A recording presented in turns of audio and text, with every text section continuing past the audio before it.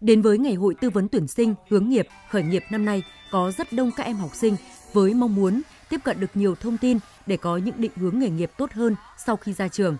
Em hy vọng rằng mình có thể tiếp nhận được những cái thông tin bổ ích đến từ các thầy cô giáo, những sự chia sẻ đến từ các thầy cô và em hy vọng rằng mình có thể ờ, uh, lựa chọn được cái phương pháp phù hợp đối với bản thân mình trong việc uh, xác định điểm mạnh cũng như là điểm yếu, uh, phát huy và khắc phục những cái hạn chế đó để có thể lựa chọn những cái định hướng phù hợp. Tại các cái chương trình tổ chức tập trung, các diễn đàn tập trung thì đều đem lại cái lợi ích là cho học sinh, cho các bạn trẻ những cái hiểu biết, những cái uh, định hướng trong cái việc mà chuẩn bị cho hành trang vào tương lai. Tại đây, hơn 10 đơn vị doanh nghiệp, các nhà trường, cơ sở giáo dục nghề nghiệp đã bố trí gian hàng, trưng bày catalog, tờ rơi, giới thiệu hình ảnh, đặc biệt là những thông tin tuyển sinh, ngành nghề đào tạo và tư vấn một cách chu đáo, tận tình. Trong suốt thời gian qua thì chúng tôi luôn uh, gắn kết và phối hợp chặt chẽ với tất cả các cái cơ sở đào tạo và trường các trường trung học phổ thông trên địa bàn trong và ngoài tỉnh để uh, tiếp xúc và uh, hướng nghiệp tư vấn cho các em học sinh sinh viên.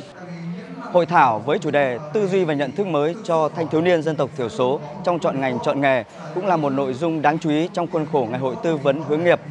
Thông qua hội thảo, học sinh sinh viên thanh thiếu niên dân tộc thiểu số sẽ có cho mình những kiến thức tư duy đổi mới để có thể đưa ra những định hướng lựa chọn ngành nghề cho bản thân phù hợp với điều kiện gia đình và địa phương.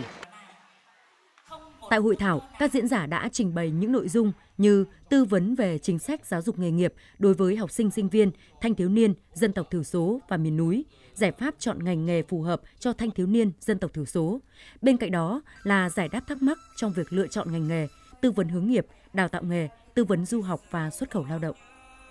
Đối với thanh thiếu niên dân tộc thiểu số thì những giải pháp để giúp cho họ lựa chọn ngành nghề phù hợp với điều kiện gia đình cũng như là vị trí địa lý của địa phương. Thì uh, thứ nhất đó là chúng ta phải tổ chức các cái hoạt động tư vấn hướng nghiệp dành cho các em. Uh, cung cấp các cái thông tin đầy đủ về ngành nghề uh, cho các em sẽ được lựa chọn. Uh, xây dựng một cái mạng lưới hỗ trợ cho các em để các em có thể uh, thực hiện cái học tập những ngành nghề đó và xây dựng các cái cộng đồng để giúp đỡ các em trong quá trình mà uh, học tập ngành nghề và sau khi tốt nghiệp ra trường. Với số lượng đông đảo các đơn vị doanh nghiệp, các nhà trường tham gia ngày hội tư vấn tuyển sinh hướng nghiệp việc làm cho thấy mức độ quan tâm ngày càng lớn của xã hội đối với công tác đào tạo, định hướng nghề nghiệp cho học sinh sinh viên hiện nay. Với cái ngày hội à, tư vấn à, hướng nghiệp à, tuyển sinh và việc làm năm 2024 năm nay thì có rất là nhiều điểm mới, đặc biệt là có sự đồng hành của các doanh nghiệp và các nhà trường trong việc tham gia cái, cái ngày hội với cái mục đích là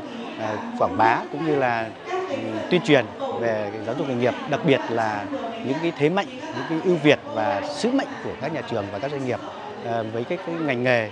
phù hợp với thị trường lao động.